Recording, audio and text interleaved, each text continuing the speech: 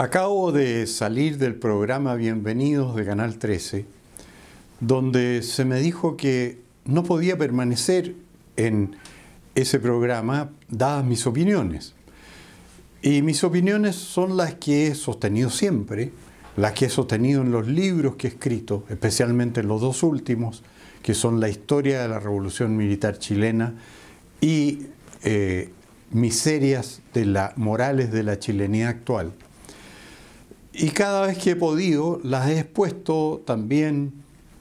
en eh, mis publicaciones de mi blog y en eh, las grabaciones de mi blog que se suben a YouTube.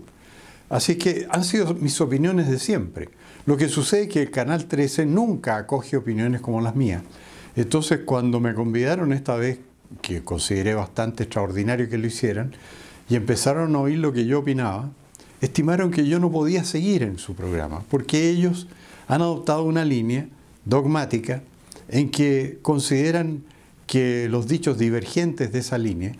en que participan todos, eh, porque son aparentemente pluralistas, pero todos opinan igual, eh, ellos estiman que son opiniones inadmisibles. Bueno, ¿a qué se reducen mis opiniones inadmisibles? A que yo hice ver que era una gran contradicción del haber eh, condenado ayer en la Cámara de Diputados al ministro Chadwick por violación de derechos humanos en el ejercicio de su cargo y al mismo tiempo tener una protesta ciudadana gigantesca que le pide al gobierno que restablezca el orden público. Entonces, si Chadwick violó los derechos humanos y no restableció el orden público, quiere decir que vivió en el peor de los dos mundos. Obviamente yo creo que Chadwick no violó los derechos humanos y tampoco fue capaz de tomar medidas para establecer un orden público. Pero de ahí los panelistas del canal, que eran casi toda gente de izquierda, sacaron la conclusión de que yo estaba en contra de los derechos humanos, o, sea que era un partidario de la violación de los derechos humanos, conclusión que no puede desprenderse de mis opiniones. Ahora lo que llevó las cosas al límite fue que yo sostuve, como he sostenido siempre en mis libros, en mis escritos, todas mis opiniones, de que en el gobierno militar no hubo violación sistemática de los derechos humanos. Al contrario, yo siempre he sostenido que el gobierno militar, en su declaración de principios, eso lo puede ver cualquiera en cualquier eh, texto en que está la declaración de principios,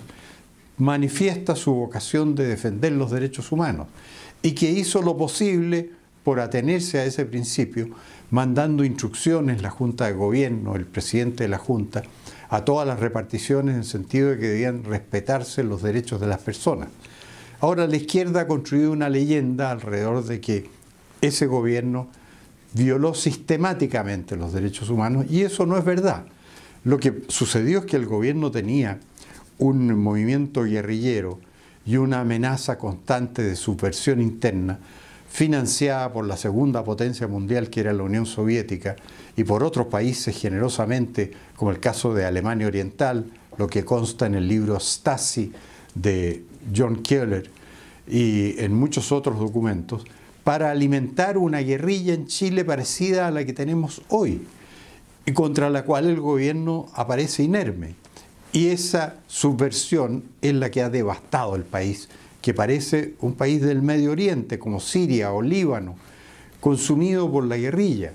siendo que lo que sucede es que el gobierno no ha sido capaz de mantener el orden público. Y entonces, al hacer bello esta contradicción entre ellos que condenan a Chadwick por excederse y por violar los derechos humanos, con la realidad de que no se ha restablecido en absoluto el orden público, estallaron todos estos diferendos eh, en, el programa. Además, les molestó mucho que yo hubiera dicho que aquí no estábamos en presencia de un estallido social, sino de un estallido antisocial, delictual, que es lo que a mi juicio ha habido. El estallido no ha sido por razones socioeconómicas, ha sido porque la delincuencia se ha apoderado del país y no ha sido suficientemente reprimida. Y eso es evidente, y tanto es así que la opinión pública lo que pide en las calles es orden público, que haya más presencia policial, que la destrucción, los incendios y los saqueos se terminen. Eso es lo que pide la gente. Y yo creo que en ese sentido he interpretado a la opinión pública. Ahora, otro punto que no alcancé a hacer ver en, en el programa, debido a que se me pidió que hiciera abandono de él, yo me aprestaba a hacer lo mismo cuando me habían dicho que mis opiniones eran inaceptables, es que curiosamente en el país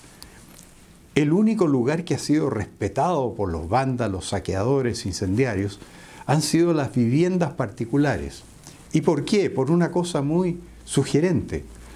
Porque en las viviendas particulares los dueños de casa tienen armas de fuego y pueden usarlas quedando acogidos a la legítima defensa. O sea, la legislación en ese caso establece una legítima defensa privilegiada, en el sentido de que se presume que una persona que da muerte a otra que ha entrado a su casa contra su voluntad está actuando en legítima defensa. Y por eso los eh, saqueadores, violentistas y eh, personas que han provocado los desórdenes en la ciudad no entran a viviendas particulares porque ahí la ley favorece a la víctima del delito, en este caso el dueño de casa, que puede dispararle. Y por eso es la mejor demostración de que usando los medios que tienen las Fuerzas Armadas y Carabineros contra la delincuencia, como son sus armas de servicio, se pondría término al estado en que está viviendo el país. Yo no he hecho otra cosa que razonar sobre estas bases y eso es lo que ha provocado que resulte inaceptable para el programa Bienvenidos de Canal 13 que yo exponga ahí mis opiniones, pero son las que he mantenido siempre y hasta eh, estoy arriesgando, como me dijo uno de los panelistas, que podría ir a prisión por opinar de esa manera. Sería una cosa lamentable que en Chile, por el ejercicio de la libertad de expresión y de opinión, uno tuviera que ir a la cárcel y espero que no sea así.